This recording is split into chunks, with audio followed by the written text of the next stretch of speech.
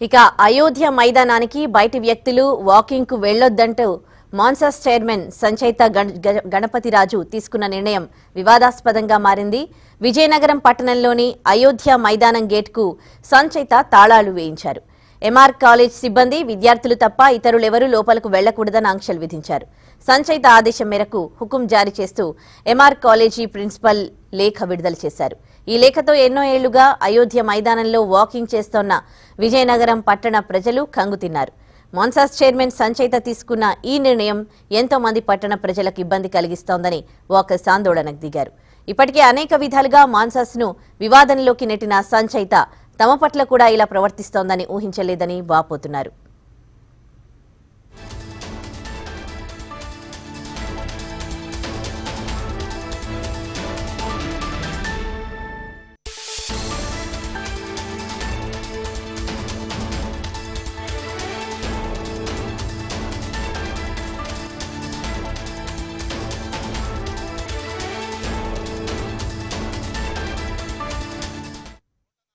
సంవత్సరాల సుదీర్ఘమైనటువంటి చరిత్ర కలిగినటువంటి ఎంఆర్ కాలేజీ స్టేడియంలో ఈరోజు చైర్మన్గా వచ్చినటువంటి వారు ఇక నోటీస్ పెట్టడం జరిగింది. ఎవరు కూడా వాకింగ్ రావడానికి వీల్లేదు.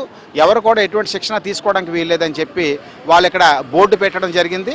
అంతేకాకుండా ఎవరైనా గోడ గోడ దూకి ఎవరైనా సరే వాకింగ్ కానీ చేస్తే వారి మీద చట్టపరమైనటువంటి చర్యలు తీసుకోబడినని చెప్పి వారు బోర్డు పెట్టడం జరిగింది. చాలా ఇది హాస్యాస్పదమైనటువంటి విషయం చాలా బాధకరమైన విషయం. గ్రౌండ్ ఈరోజు మూతపడింది.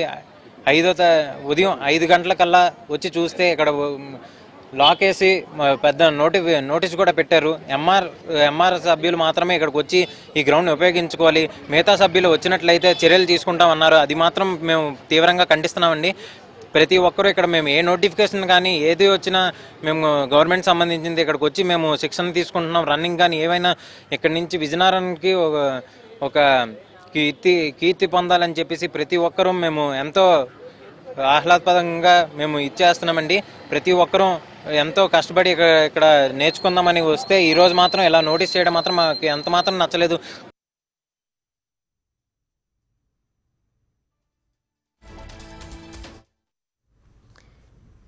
ఇదే అంశానికి సంబంధించి మరింత సమాచారం విజయనగరం నుంచి మా ప్రతినిధి శ్రీరామ్ అందిస్తారు.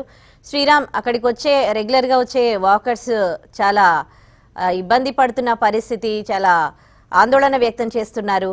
సో దీనిపైన మళ్ళా మాన్సాస్ ట్రస్ట్ నుంచి ఎవరైనా రెస్పాండ్ అయ్యారా? డీటెయిల్స్ ఏంటి?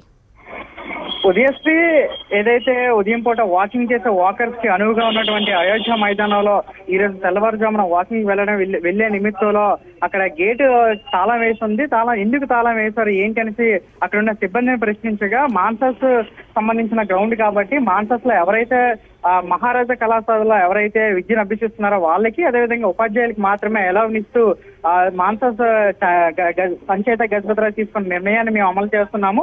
మాకు ఏదైతే ఇంటిమేషన్ వచ్చింది ఆ, ఎవరు కూడా ఈ బయట వ్యక్తులు ఎవరు కూడా లోన వాకింగ్ కానీ అదేవిధంగా రన్నింగ్ కానీ బయటికి రావద్దని లోపలికి ఎలా లేదంటూ కూడా ఒక లేఖను ప్రిన్సిపల్ తరపున లేఖను విడుదల చేస్తూ అక్కడ అంటించడం జరిగింది. సో దీంతో ఎన్నో ఏళ్ళగా దశాబ్దాల కాలం పాటు కూడా అక్కడ వాకింగ్ చేస్తున్న ప్రజలకు ఒక్కసారిగా ఉలికిపడే ఘటన అయితే సంభవించిన నేపథ్యంలో ఆ కళాశ అక్కడ మహారాజా సంబంధించి ఆ అయోధ్య మైదానం బయట అయితే పెద్ద ఎత్తున నిరసన వ్యక్తం చేశారు. ఇదే విధంగా ఆ ఇదే అంశం పైన ఇప్పటి వరకు కూడా మహారాజా కళాశాల ప్రిన్సిపాల్ గానీ అదేవిధంగా సంచేత గజపతిరాజు గానీ ఎలాంటి స్పందన కూడా అయితే లేదు. ఈ స్పందన లేకపోవడం విషయంలో పెద్ద ఎత్తున అక్కడ వచ్చే వాకర్స్ గానీ అదేవిధంగా యువత గానీ పెద్ద ఎత్తున నిరసన వ్యక్తం చేశారు. ఒకవైపు ఆ సంచేత పలు నిర్ణయాలు తీసుకుంటూ యువదర్శనంగా మారుతున్న నేపథ్యంలో అటు మహారాజా కళాశాలను ప్రైవేట్ పరం చేయమను చేయమంటూ కూడా నిర్ణయం తీసుకోవడం పట్ల అటు తమ పిల్లల్ని కూడా ఇబ్బంది పడుతున్నారు. ఇటువైపు అయోధ్య మైదానంలో మమ్మల్ని వాకర్స్కి వాకింగ్ చేసిన నేపథ్యం కానీ రన్నింగ్ చేసిన నేపథ్యంలో మమ్మల్ని కూడా ఆంక్షలు విధిస్తూ మాపై కూడా కక్ష పెట్టుకుంటున్నారు.